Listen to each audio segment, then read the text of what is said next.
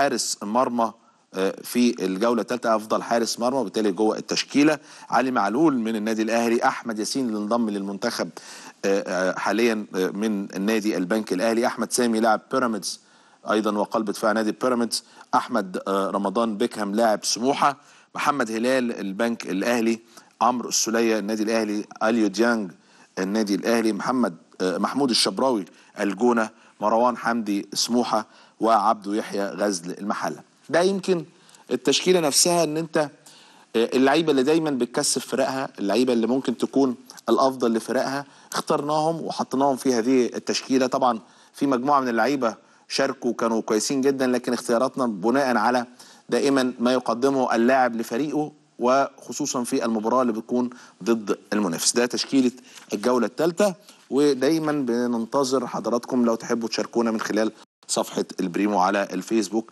كأفضل لاعب وأفضل تشكيلة وأفضل هدف كمان لو حبيتوا تختاروه لأن إحنا اخترنا برضو أفضل هدف في الجولة الثالثة. والحقيقة إحنا ما لقيناش يعني يعني نقول إيه بس أو المفاضلة ما بين هدف مصطفى فتحي وآليو ديانج. صراحة اخترناهم هما الاثنين لأن هما الاثنين هدفين غاية في الروعة الصراحة.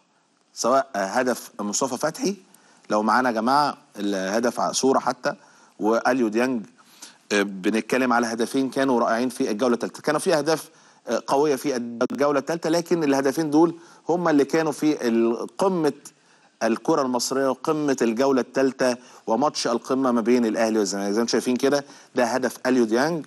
ده تم اختياره مننا كأفضل هدف في الجولة الثالثة. هو طبعا وهدف مصطفى فتحي الرائع الرائع في مرمى الشناوي ومرمى النادي الأهلي. هم الاثنين تم اختيارهم. طبعا إحنا بنختار هدف واحد لكن الصراحه الهدفين يستحقوا إن هم يختاروا كهدف الأسبوع. طيب خليني هطلع لفاصل.